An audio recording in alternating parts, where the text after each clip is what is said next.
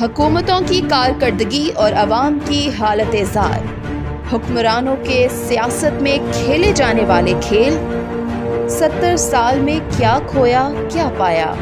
पाकिस्तान को दरपेश मसाइल और उनका हल। कलम की नोक दे इंसाफ की दस्तक।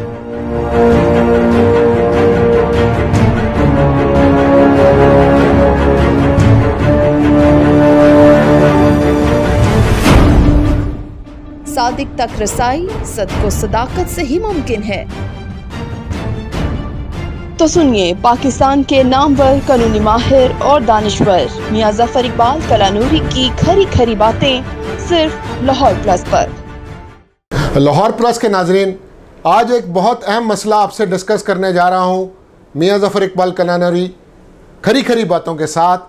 मसला है कि ये जो मुतहदा अरब इमारात ने तस्लीम कर लिया इसराइल को इससे लोगों के लिए बड़ी एक परेशानी पैदा हुई है।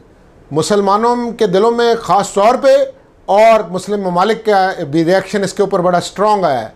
मसला बहुत पुराना है, जुल्म की एक दास्तान है, जिसके ऊपर बारहा यूएनओ ने एक अमन का पैगाम दिया और एक प्लान दिया कि किस तरह से ये मसला सॉर्ट आउट होना चाहिए। ओ इस्लामी ममालिक की जो तंजीम है, उसमें बार बार रेजोल्यूशन पास हुए हैं कि किस तरह से मुसलमानों को उनके हकूक दिए जाएँगे, ये टेरिटरी का मसला किस तरह हल हो, इससे पूरे इलाके का अमन जो है, तबाह होता है।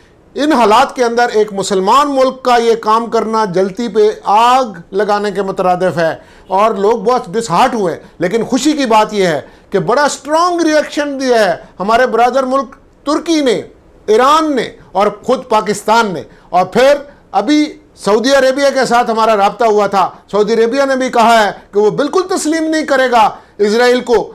और जब तक के जो एक यूएनओ का प्लान है और ओ की करारदादों के मुताबिक उसको अमल लाना पड़ेगा, वरना ये जो जुल्म है, इसको सपोर्ट करना भी जुल्म है। तो ये बात तयशुदा है कि इसराइल को ये मसला हल करना ही पड़ेगा।